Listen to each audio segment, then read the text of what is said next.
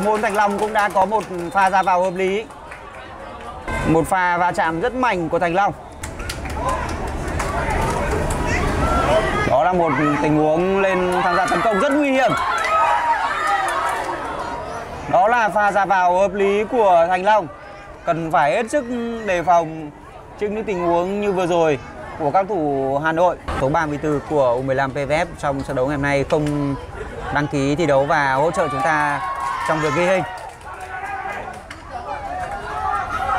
Rất nguy hiểm.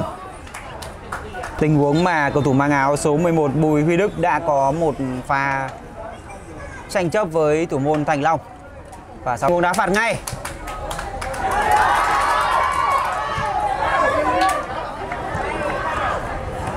Thủ môn Thành Long trong trận đấu ngày hôm nay vẫn cho thấy một sự chắc chắn và niềm tin của huấn luyện viên Nguyễn Duy Đông dành cho thủ môn sinh năm 2008 này là hoàn toàn có cơ sở.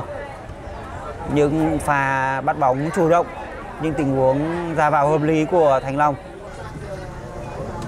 Bây giờ thì đội bóng áo vàng vẫn đang miệt mài tấn công.